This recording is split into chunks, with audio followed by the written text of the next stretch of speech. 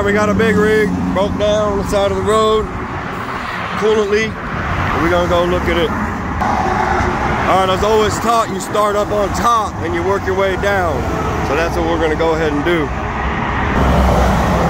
You can already see you got coolant all up here. You wanna start at the most furthest part it goes because that means you know it's coming from somewhere up here. All right, what you're looking for when you're underneath, you're gonna be looking for coolant drops like this. You're foaming up. That's where you want to look. You know your leak is coming from somewhere over there because that's where the mass of the water is.